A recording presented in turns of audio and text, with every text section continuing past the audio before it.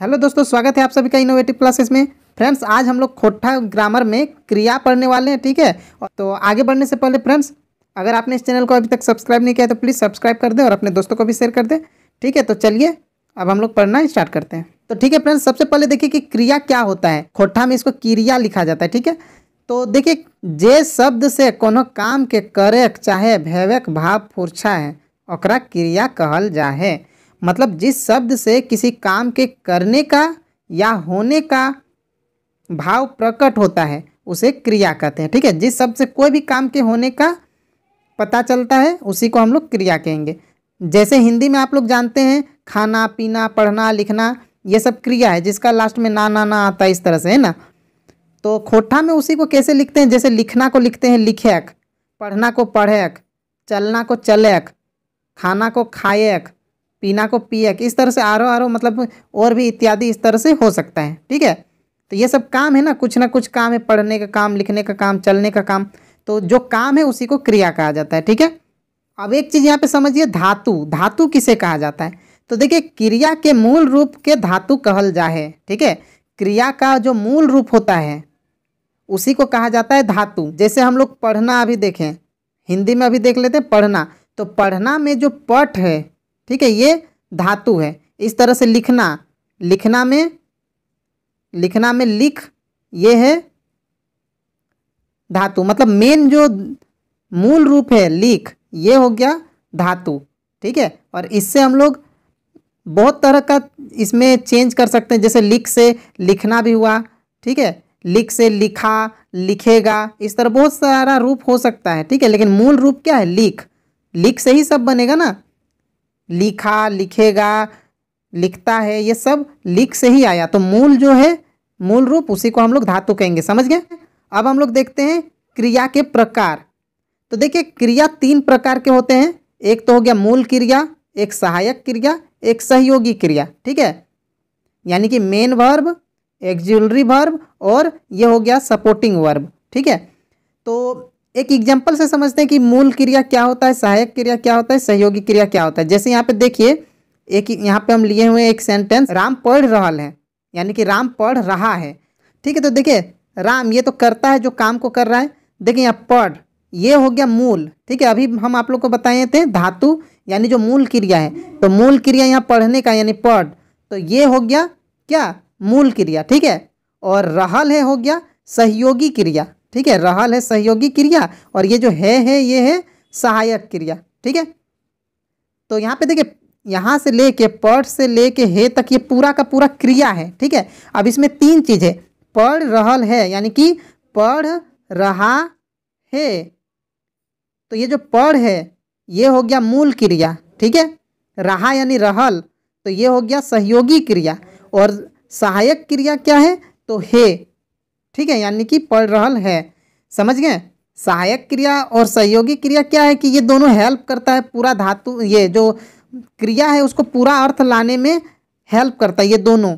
ठीक है, इसलिए सहायक और सहयोगी लिखा गया है। ठीक है, दोनों के बिना राम पढ़ और ये अगर नहीं रहेगा, रहल है तो फिर कोई अर्थ नहीं निकलेगा ना। सही से? इसीलिए इन दोनों को या एक को सहायक और एक को सहयोगी, क्योंकि दोनों हेल्प कर रहा है। ठीक है? तो ये जान गए कि क्रिया तीन तरह के हैं, मूल क्रिया, सहायक क्रिया, सहयोगी क्रिया। ठीक है? सहायक क्रिया में हे, था, ठीक है? मतलब जो हम लोग हेल्पिंग भर पढ़े हैं इज़ एम आर ये सब जो इंग्लिश में पढ़े हैं, वही सब इसमें आएगा सहायक क्रिया में, जो सबसे लास्ट में मिला, मिलेगा लिखा हुआ हे, था, थी, हो, ये सब जो लास्ट में मिलता है, सबसे लास्ट में लिखा हुआ, वो सहायक क्रिया होता है। ठीक है? तो अब देखिए मूल क्रिया अब मूल क्रिया को फिर आठ प्रकार में बांटा गया है, ठीक है?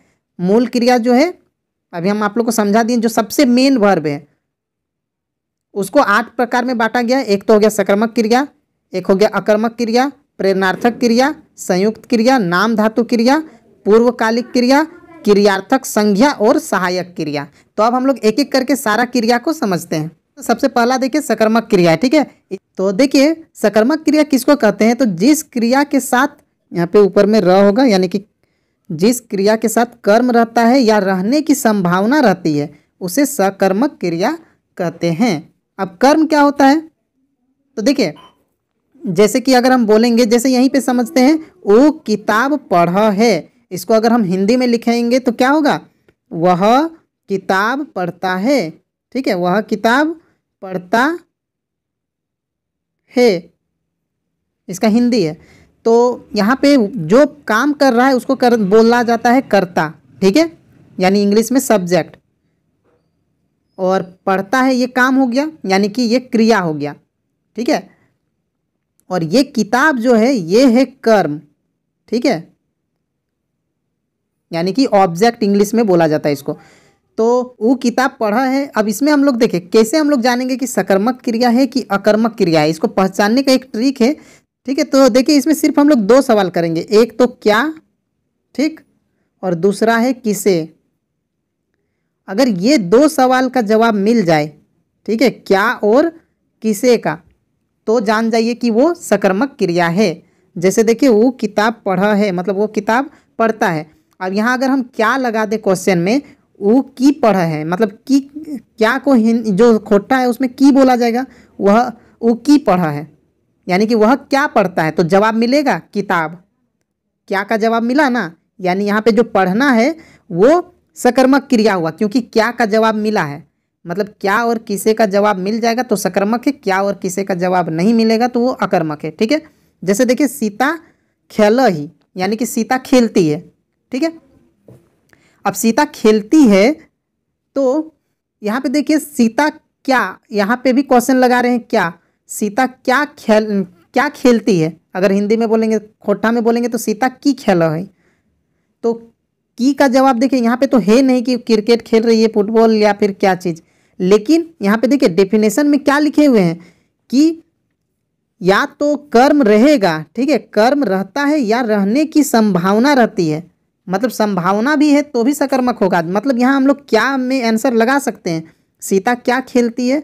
तो वहाँ पे क्या की जगह फुटबॉल, क्रिकेट, लूडो, कुछ भी आंसर आ सकता है ना? यानी क्या लग सकता है? तो यहाँ पे संभावना है कि कुछ हम लोग को जवाब मिल जाएगा, ठीक है? यानी ये भी जो है सकर्मक क्रिया में आएगा। यानी यहाँ पे देखिए, क्रिया कौन सा है? पढ़ है, यानी पढ़ना, ये पढ़ना क्रिया है, वो हो रहा है सकर्मक, अकर्मक, ठीक है?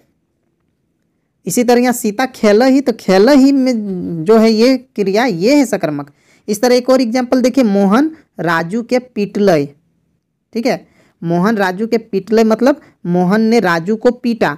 अब यहाँ पे क्या का जवाब नहीं मिलेगा। मोहन राजू के, क्या तो क्वेश्चन बनेगा ही नहीं, अटपटा हो जाएगा ना। लेकिन यहाँ पे हम एक और बताएँ कि किसे का भी जवाब अगर मिलेगा तो भी वो सकर्मक होगा। अब यहाँ पे देखिए, मोहन किसे पीटा? ठीक है, अगर खोटा में किसे का बात करेंगे तो वो हो जाएगा ककरा। ठीक है तो मोहन ककरा पिटल, यानी कि मोहन किसे पीटा? जवाब मिल रहा है ना राजू को। ठीक है? मोहन ने किसे पीटा? राजू को। तो किसे का भी जवाब मिलेगा तो भी सक्रमक क्रिया। अब यहाँ क्रिया कौन सा है? पीटल काम यहाँ पे क्या है? पीटने का। तो ये जो है सकर्मक क्रिया है। ठीक है? तो बस ये आप लोग याद रख लीजिए कि क्या और किसे। ये दो सवाल का जवाब मिल जाए तो वो सकर्मक है। ठीक है? नहीं मिलेगा तो अकर्मक। अब नेक्स्ट देखते हैं अकर्मक क्रिया। तो अकर्मक क्रिया में देखिए जो अभी हम बताएँ उसमें सक, जो कर्म रहेगा साथ में तो सकर्मक है। कर्म नहीं रहेगा या फिर नहीं रहने का संभावना है। ठीक है उसको अकर्मक कहेंगे मतलब इसमें तो कर्म रहता ही नहीं है इसीलिए इसको अकर्मक क्रिया कहते हैं। ठीक है? जैसे देखिए जिस क्रिया के साथ कर्म की संभावना ना हो उसे ही क्या है? अकर्मक क्रिया कहते हैं। जैसे देखिए राम हंसो है अब यहाँ हम लोग क्या भी नहीं लगा सकते हैं किसे भी नहीं लगा सकते हैं जवाब नहीं मिलेगा क्या किसे दोनों में से। ठीक है? राम क्या हंस, क्या हंसता है? जैसे इसका हिंदी हो गया तो राम हंसता है। तो राम क्या हंसता है? जवाब मिलेगा क्या? क्या का? नहीं। किसे अगर बोलेंगे राम किसे हंसता है? तो भी नहीं होगा। यहाँ पे हो सकता है जवाब किसका? कैसे का मिले। राम कैसे हंसता है। लेकिन हम लोग को कैसे का जवाब नहीं चाहिए। हम लोग को किसका चाहिए? क्या का या किसे का? तो क्या और किसे का जवाब मिल गया? ठीक है तो वो हो जाएगा सकर्मक। नहीं मिला तो अकर्मक। तो यहाँ पे क्या जवाब मिलेगा? हंसने में। वह हंसता है। या राम हंसता है तो राम क्या हंसता है? क्वेश्चन थोड़ी हो सकता है। तो इसीलिए ये क्या है? हंसना जो है, हंसना अकर्मक क्रिया क्योंकि इसमें हम लोग ऑब्जेक्ट लगा ही नहीं सकते हैं। ठीक है? इसी तरह देखिए, सीता स्कूल जा ही मतलब सीता स्कूल जाती है।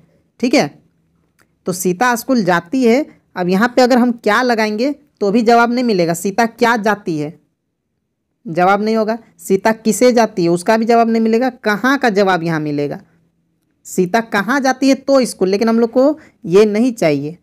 हम पहले ही बता दिए क्या और किसे होना चाहिए, ठीक है? तो इसीलिए ये जो जाना हो गया, हंसना हो गया, इसके अलावा और भी होता है, जैसे छींकना, वह छींकता है, ठीक है? छींकना में भी ऑब्जेक्ट हम लोग नहीं लगा सकते हैं, कर्म नहीं लगा सकते हैं। छींकना हो गया, थूकना हो गया, हंसना तो यहाँ पे हो ही गया है, ठीक है? टहलना हो गया, ये सब जो है अकर्मक क्रिया में आएगा, क्योंकि उसमें हम लोग चाह के भी ऑब्जेक्ट यानी कि कर्म नहीं लगा सकते हैं, ठीक है? अब नेक्स्ट है प्रेरणार्थक क्रिया। अब ये कैसा क्रिया है? तो देखिए, इसमें क्या होता है कि जो करता है, ठीक है, वो काम खुद नहीं करता है, किसी और से काम करवाता है, ठीक है? तो उसी को कहा जाएगा प्रेरणार्थक क्रिया। तो देखिए डेफिनेशन क्या लिखे कि जब कर्ता स्वयं कार्य को न कर, किसी और से कार्य करवाता है तो इसे प्रेरणार्थक क्रिया कहते हैं। जैसे देखिए हम तीन एग्ज़ाम्पल लिए हुए हैं, इससे आप लोग समझ जाइएगा। देखिए, माँ खाती है, ठीक है, पहला है माँ खाती है, दूसरा है माँ खिलाती है, तीसरा है माँ खिलवाती है। अब ये तीनों में क्या डिफरेंस है? तो देखिए, माँ खाती है, यानी माँ, इसको अगर खोटा में बोलेंगे तो माई खा ही, ठीक है? तो माँ खाती है, यहाँ माँ खुद काम को कर रही है, खाने का काम, ठीक है? दूसरा वाला में है, माँ खिलाती है। माँ खिलाती है मतलब किसी और को खिला रही है, अपने बच्चे को खिला रही है, ठीक है? और माँ खिलवाती है, इसका मतलब हुआ कि माँ खुद नहीं खिला रही है, वो किसी और को बोल रही है कि खिलाओ, ठीक है? जैसे इसमें देखिए सेकेंड वाला में देखिए, माँ खिलाती है, यहाँ हम लिख सकते हैं, माँ अपने बच्चे को खिलाती है, ठीक है? और यहाँ पे है, माँ खिलवाती, यहाँ पे हम एक जोड़ सकते हैं, माँ नौकरानी से अपने बच्चे को खिलवाती है मतलब माँ यहाँ खुद काम नहीं कर रही है, किसी और से काम करवा रही है, ठीक है? तो और यहाँ पे क्या है, माँ खिलाती है, यहाँ खाने का काम भी माँ खुद नहीं कर रही है, खिला रही है, दूसरे को खिला रही है, खुद नहीं खा रही है। पहला वाला में है, उसमें है माँ खाती है, ठीक है? तो ये जो दो गो है, यानी लास्ट का दो, ये दोनों कैसा क्रिया है? ये दोनों है प्रेरणार्थक क्रिया। क्यों प्रेरणार्थक है? क्योंकि यहाँ पे देखिए सेकंड वाला में भी माँ खुद नहीं खा रही है, किसी और को खिला रही है। और इसमें किसी और को बोल रही है उसको खिलाने के लिए। लेकिन यहाँ दोनों में वो खा नहीं रही है। किसी और को खिलाने का ही काम कर रही है। ठीक है? तो ये जो पहला वाला है, इसमें वो खुद उस काम को करवा रही है। इसको कहा जाएगा प्रथम प्रेरणार्थक। ठीक है? और ये जो है, जब किसी और से काम को करवाया जाएगा तो इसको बोला जाएगा द्वितीयक। ठीक है? या द्वितीय भी बोल सकते द्वितीय प्रेरणार्थक क्रिया। ये समझ में आ रहा है? जैसे एक और समझते हैं हम। जैसे अगर हम बोलेंगे, मोहन हल जोतता है। ठीक है? तो मोहन हल जोतता वो खुद कर रहा है तो वो प्रेरणार्थक क्रिया नहीं है। जैसे यहाँ पे पहला वाला प्रेरणार्थक क्रिया नहीं है, क्योंकि माँ खाती है, वो खुद काम कर रही है। ठीक है? खाने का काम किसी और से नहीं करवा रही है। ठीक है? लेकिन सेकेंड वाला में माँ खिलाती है, बच्चे को खिलाती है मतलब वो खाने का काम किसी और से करवा रही है, वो खुद करवा रही है तो इसीलिए प्रथम, लेकिन वो खुद ना करवा के किसी और से करवाए तो वो द्वितीय प्रेरणार्थक, ठीक है? इस तरह से अभी हम एग्ज़ाम्पल बोले कि जैसे रामू हल जोताता है, हल जोतता है, पहले देखिए, रामू हल जोतता है, वो खुद कर रहा है तो वो प्रेरणार्थक क्रिया नहीं है, लेकिन अगर बोल देंगे रामू हल जोतवाता है मतलब अपना खेत में जोतवा रहा है, ठीक है? और अगर ऐसे बोल देंगे, रामू ने मोहन से हल जोतवाया, मत मतलब किसी और को बोला कि जा मेरा खेत को जोतवा दो तो वो खुद ना करके देखिए। प्रथम में क्या होता है कि वो खुद किसी से करवाता है और द्वितीयक में क्या होता है कि वो किसी को बोलता है और उससे फिर करवाता है वही काम को। ठीक है? मतलब तीन तरह से काम को किया जा सकता है। एक तो खुद करे, ठीक है? मतलब वो काम खुद, जैसे हल जोतने का काम वो खुद कर सकता है, ठीक है? अगर हम यहाँ मोहन का बात कर रहे हैं तो मोहन हल खुद जोत सकता है। तो वो प्रेरणार्थक नहीं, वो खुद हल जोत रहा है, खुद से ही हल चला रहा है। तो वो प्रेरणार्थक क्रिया नहीं है, लेकिन मोहन क्या किया? किसी और को बोल दिया।